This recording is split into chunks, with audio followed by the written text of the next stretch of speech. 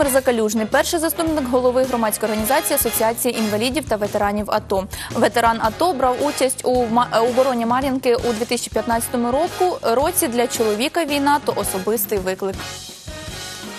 Доброго ранку вам. Доброго Ми ранку. дякуємо, що ви завітали до нас. Бачу, що з гарним настроєм. Це безумовно тішить. І перше питання до всіх, хто вже брав участь у наших ранкових ефірах. Ваша історія. Як ви потрапили в зону АТО, в бойові дії? Ви обороняли Мар'їнку? Як розпочалася саме ця життєва історія Так, на вашому шляху? що вас мотивувало і чому е, саме для вас війна була особистим викликом, як це от усюди зазначається? Розкажіть, будь ласка. Е, Війна для мене почалася у 2014 році. Е, Майже з початку бойових дій на східі нашої країни е, отримував я шість повісток. Е, На жаль, з кожного разу мінялися команди. В військкоматі переносилось, переносилось до того, як вже на 8 серпня я отримав безпосередньо бойову так називаємо повістку до Збройних сил України і пішов до лав Збройних сил. Початок моєї е, служби починався з е, слухача Одеської військової академії, е, так як і багатьох офіцерів запасу. Потім по розподілу потрапив до 28-ї окремої гвардійської механізованої бригади, це Одеська бригада. І з жовтня 2014 року почався вже мій так називаємий кадровий час е, проходження служби в цій бригаді. Спочатку це був е, полігон Широкий Лан, е, де проходили злагодження підрозділів. І з листопада 2019 року, о, з 19 листопаду, з 19 листопаду 2014 року вже знаходився разом зі своїм підрозділом в зоні проведення АТО в Донецькій області. Ваші близькі, ваша родина як відреагувала на те, що ви йдете до Збройних сил України, що ви йдете на війну? Ну що казати, будемо говорити відверто, як воно є. Е, Скажу так, е, ну, е, як люба родина, жінка віднеслася з цим, до цього з поніманням, але з хвилюванням та сльозами. Е, Донька вже на той час е, в мене доросла була, їй було на той час 15 років.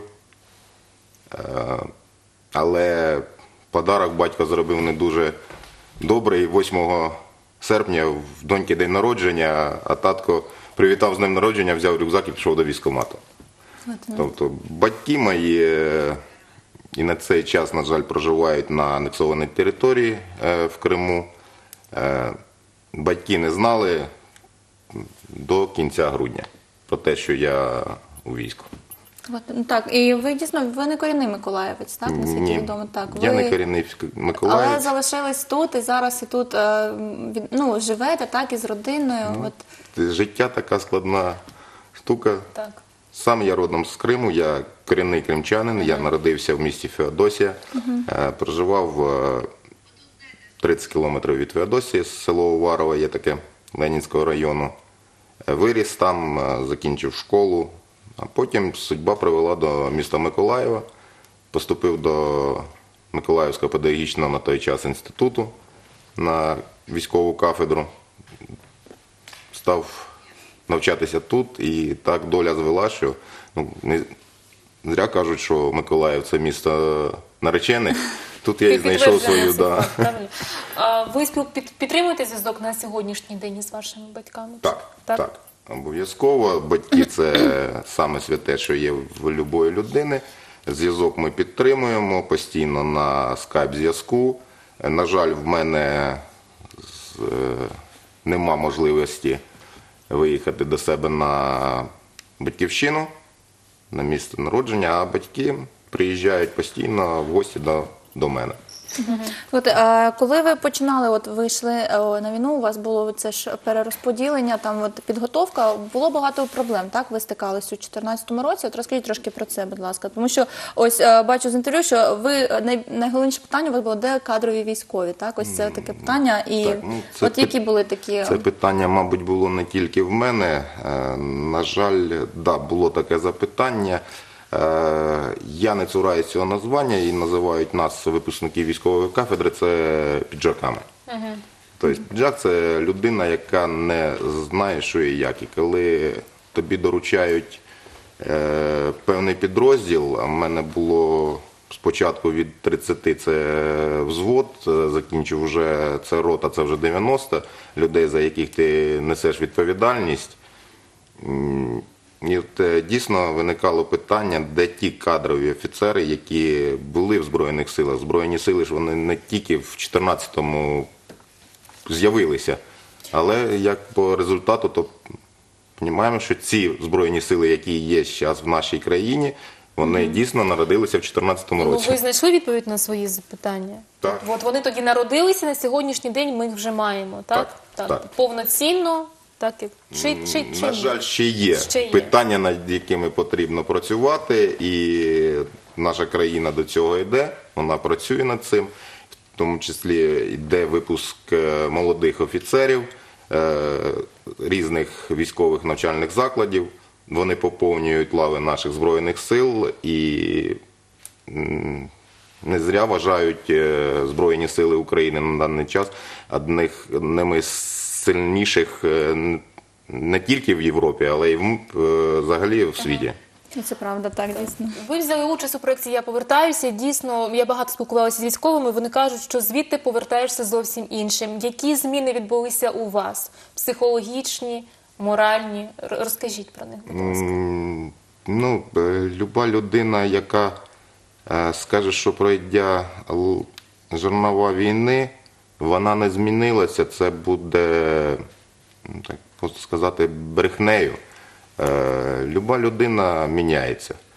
Е, Яка бачила страхи війни, внутрі завжди проходить цей переломний момент. Е, Страхи тих дій, втрата побратимів це, мабуть, самі сильні камні, які залишаться в душі кожної людини. І тут е, кожен переламує це по-своєму. Коли багато проблем у військових, які повертаються з ходу України, кожен питається вирішити їх по-своєму. Але для чого і створена е, наша асоціація учасників та інвалідів АТО, ми е, відкриті для кожного для розгляду його проблеми. Тому що у всіх однакових проблем не буває, у кожного різна проблема. Я поборов свою проблему дуже елементарно. Я звільнився е, 18 вересня і 22-го я вийшов на роботу. Хоча керівництво казало, у тебе є відпустка відпочинь. Кажу, мені треба змінити просто напрямок, я вернувся до своєї роботи. І так пішло, тут пішло, не пішло. допоможе, так? Так. Так, а от розкажіть трошки про те, як у вас зараз складається життя. От вже я знаю, е, читала, що ви дуже хотіли завжди себе поєднати з морем. Ось ці, е, е, і у вас, наче, є така можливість поєднати себе. От розкажіть про це, чим ви зараз займаєтесь, як складається ваше життя? Е, Дуже цікаве питання, особливо зараз. Е, з Актуально і наболіло, Да, так? Трошки наболівши, да. Е, З 2012 року я прийшов е, у сферу безпеки на морському та річковому транспорті. І ця сфера діяльності мене дуже звлекла, вона мені сподобалася. Дійсно, як кажуть, працювати можна не тільки руками або головою, а ще й душею. От е, я реально до цієї роботи я прикипів душею. На жаль, пройшли в 15-му була перша реорганізація, це з Укрморрічінспекцією, так називаємо Державну службу України е, на морському та річковому транспорті. Об'єднали з е, Державною службою, е, Державною інспекцією на наземному транспорті. Створилася з 15-го року так називаємо Укртрансбезпека. Працював до серпня місяця 2018 року я в відділі державного контролю та нагляду за безпекою на водному транспорті. В серпні з- знову пройшла реорганізація. Була створена Державна служба на морському та річковому транспорті України, е, морська адміністрація, так називаємо. Але, на жаль, е, керівництво цієї структури мене не побачило в ній. Зараз я продовжую е, роботу в Миколаївському управлінні Укртрансбезпеки, але вже інспектором на наземному транспорті. Ну це що теж є непогано. Погодьте зі мною. А, Ви взяли участь у проєкті. Я повертаюсь дуже коротенько, декілька секунд. Вас вже відзняли. Є вже ролики, і коли ми зможемо його можемо його побачити. Ні, е, відеоролика ще, поки ще нема. Да, пройшла тільки фотосесія, так називаємо. Е, В перспективі ще б, е, зняття відеоролику. Ми чекаємо. Ми чекаємо, дійсно, побачити. показати його. На самі побачити і чергу телеглядачам показати. Дякуємо вам, дякуємо за від- що завітали. Дякую вам, що Але запросили. найбільше дяка за те, що захищали нашу Україну. Так, дякую. Я нагадую, Володимир Закалюжний, перший заступник голови громадської організації Асоціації інвалідів та ветеранів АТО, був сьогодні у нас в гостях. Захисник України. Дякую, що поділили своєю історією. Це дійсно надихає.